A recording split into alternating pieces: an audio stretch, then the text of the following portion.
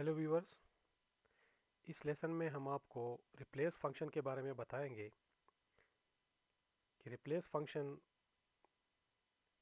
किस तरह एक्सेल में काम करता है। पिछले लेसन में हमने सब्सिट्यूट फ़ंक्शन के बारे में आपको बताया था और सब्सिट्यूट फ़ंक्शन हमने कहा था कि स्ट्रिंग के अंदर string string within a string हम इसे रिप्लेस करना चाह रहे हैं। तो ये पीच ट्री स्ट्रिंग है और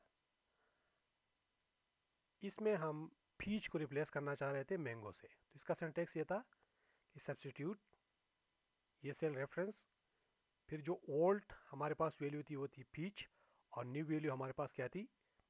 मैंगो तो इस तरह इसने पीच को मैंगो से रिप्लेस किया। तो इसमें सब्सटीट्यूट फ़ंक्शन में ये था कि हमें स्ट्रिंग का पता था और इसकी पोजीशन का पता नहीं था। अब रिप्लेस और सब्सटीट्यूट जो फ़ंक्शन है उसमें फ़र्क यह है कि रिप्लेस में आपको पोजीशन का पता होता है, आपको स्ट्रिंग का पता नहीं होता। सब्सटीट्यूट में आपको स्ट्रिंग का पता होता है पोजीशन का पता नहीं होता। अब हम चाह रहे हैं कि ये जो पीच ट्री है, यहाँ पे जो, ये जो हाईपन है, इसको हम रिप्लेस करना चाह रहे हैं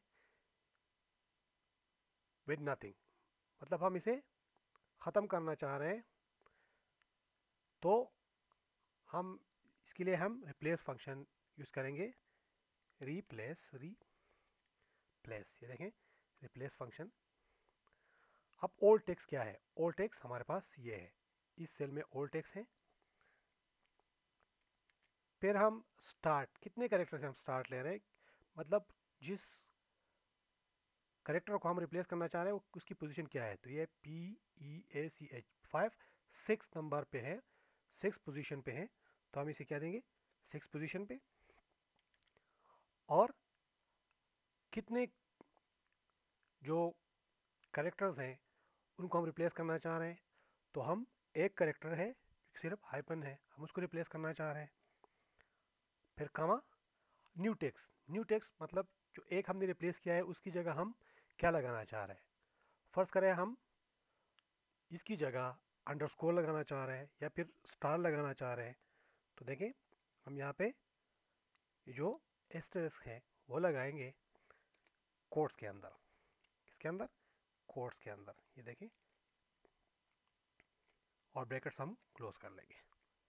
ये देखें, पीच, ये जो कैरेक्टर है, इसने रिप्लेस किया है हाइपन को किससे? स्टार से। अब हम फार्मूला एडिटिंग में या डबल क्लिक करके आप एडिटिंग में जाएँगे और हम इसे जो बिल्कुल मतलब कोई करेक्टर हम इंसर्ट ही नहीं करना चाह रहे तो हम इसे हटा देंगे और एंटर कर देंगे। ये देखें, इन दोनों के बीच अब कोई भी करेक्टर नहीं है। तो सब्सटीट्यूट फ़ंक्शन में हम स्ट्रिंग के अंदर, हमें स्ट्रिंग का पता होता है और रिप्लेस जो फ़ंक्शन है, उसमें हमें पोजीशन का पता होता है स्ट्रिंग का पता नहीं